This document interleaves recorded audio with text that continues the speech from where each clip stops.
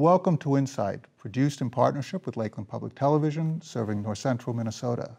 Today we are chatting with Jeanne Larson, Executive Director of the Northern Dental Access Center. Jeanne has generously agreed to share some of her experience with us. I'd like to thank you, Jeanne, for joining us today. Thank you very much.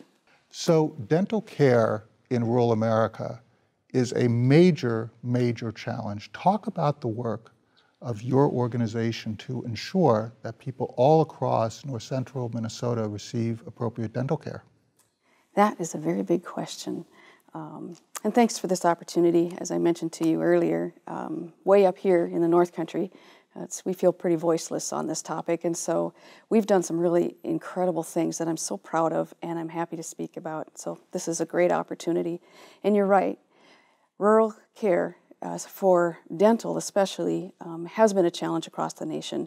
This region, north, northern and central and western Minnesota, has been especially hit hard over the last few decades. And um, the concept of safety net dental clinics started emerging, say, 10, 15 years ago in the state as a way of augmenting the private practices' struggle to serve a population that is um, often at high risk often geographically uh, isolated and even maybe culturally different than what the mainstream uh, delivery is accustomed to. And about 15 years ago, this lack of access started really deteriorating the health of uh, the public health of the entire region. And a number of community leaders got together to say something needs to change. Employers were seeing lack of productivity. It would take two days to get to a dental appointment, say, or take a whole day off to get a child 200 miles away for a dental appointment. The school, uh, the nurses would come to, a, to this uh, group of people talking about the situation, say, kids, the kid, school nurses they're dealing with toothaches now and families that can't find appointments. And same thing as if it's hard for a child to learn when they can't, when they're not fed, it's hard for a child to learn with a toothache. Well, and, and we forget that poor dental health means constant pain. It does. It just means constant pain. As a child, you're living with constant pain. As an adult, you're living with constant pain. You can't eat. Right? It has it has a a effect on learning, on concentration, on quality of life, on other health. There's many misconceptions that, well, if it's just the baby teeth, then we'll get to it later. And I, I think a lot of people misunderstand that, that de decay and disease in the baby teeth actually sets the foundation for the adult teeth. And so you really can uh, set a child on a, a, lifetime of pain if those baby teeth aren't even addressed properly. And I think we forget that uh, there's unemployment and it's very difficult to get a job or keep a job if you don't have front teeth or if your smile is less than uh, desirable for a public setting. So let's talk a little bit about the different cohorts that you serve. You have different people from different cultures, from different backgrounds, from different strata in society, different wealth levels. Plus, you have this huge logistical problem where people are two, three, four hours away from, from dental care. Uh, could you just lay out the, the various cohorts of people that you serve in this area of the country? The profile, I think, is misunderstood about the kinds of people that we serve, but it certainly does run the gamut from the, the most extreme in need and, and uh, isolated and uh, diseased to average folks that we all know and would walk down the street and would be amazed to know that they're enrolled in Medicaid or, or uh, medical assistance or Minnesota Care.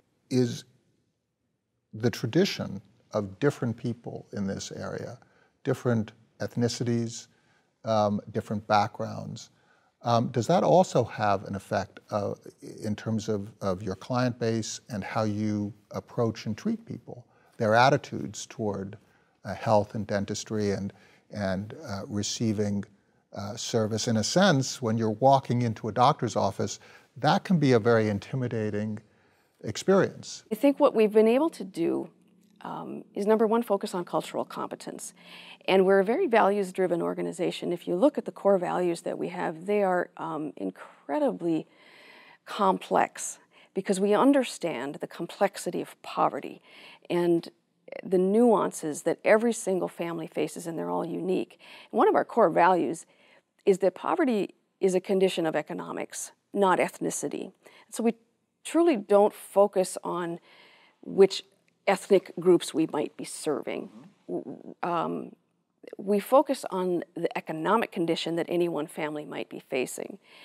And by doing so, we've created um, a very welcoming environment where our staff are trained to not judge, to not expect any one individual or family to have the same values that we may have grown up with, and to simply meet people where they're at and to understand what it's like to walk into a dental office. If you've not had care uh, for 10 years um, and you walk into a dental office, it's likely whatever you have is painful.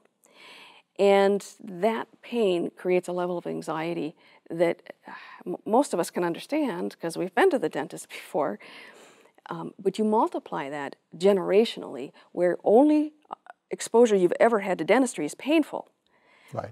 If you grew up going to the dentist every six months, you get a checkup, you get a few sealants, or you know, and then you go back. But if you have children that have not ever been to the dentist and you start at age 12 and they've been in pain all that time, it's not a pleasant experience.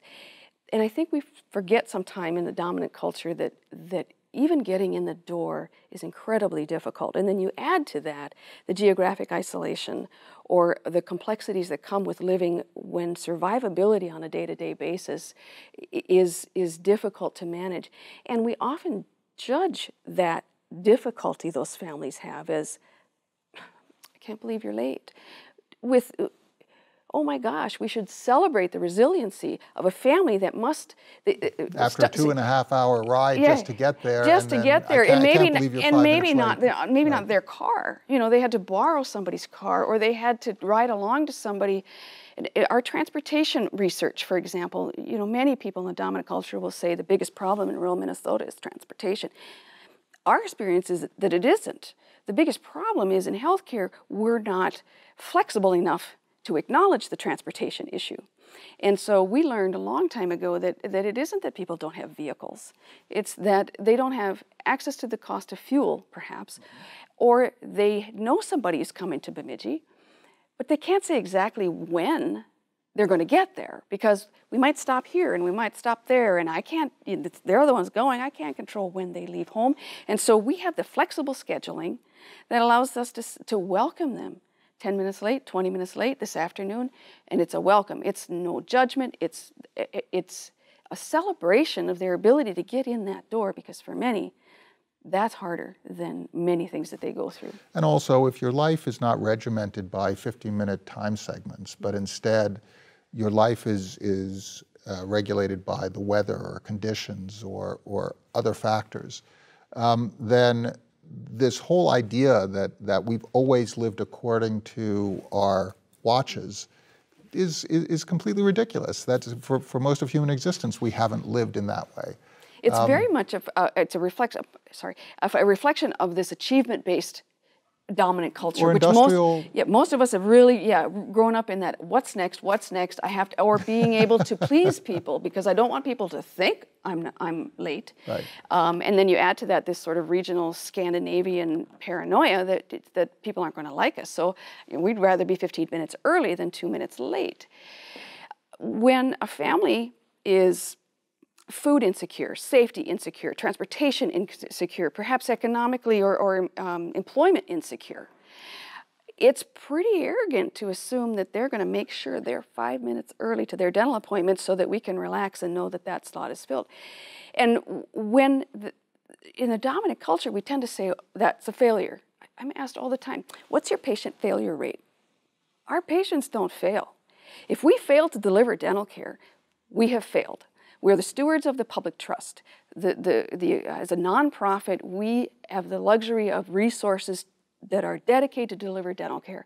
If we fail to deliver that dental care, the patients didn't fail, we failed. So we have to really change what we do. And, and what's great about Northern Dental is um, the ability to turn everything on its side and really look at the patient's needs and adapting what we do, how we feel, all of our definitions we change and, and really pushing the status quo as hard as we can to say it's we have to focus on the complexity of what the patients are facing. And in fact celebrate their resiliency. Um, studies show that, that people in poverty spend more than 30% of their time just maneuvering through the social safety net system.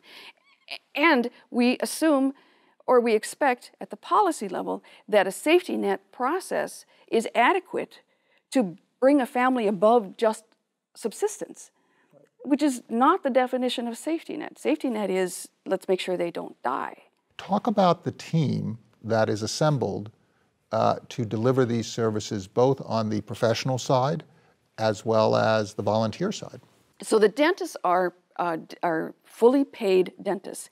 The the nuance is, as any rural area has recruitment problems with professionals, they're not our staff. Right. We recruit dentists, we pay them a daily rate, and they come from all over the state. And they drive here for a day a week, two days a week, a week a month. Hey, I heard Bemidji's nice in the summer. How about I come up for the summer?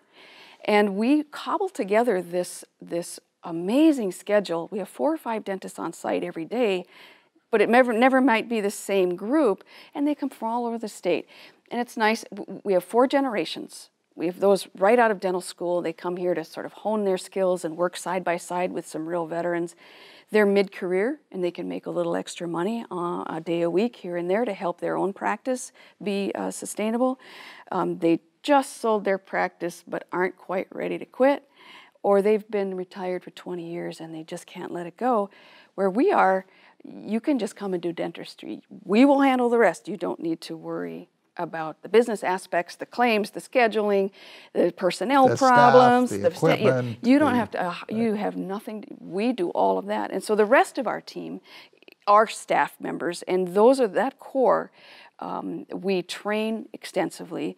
Um, I'm very much a um, a Richard Branson fan. The employees are your customer number one, because once you have a great set of employees, they will make the patients the best, you know, they make the best customer service.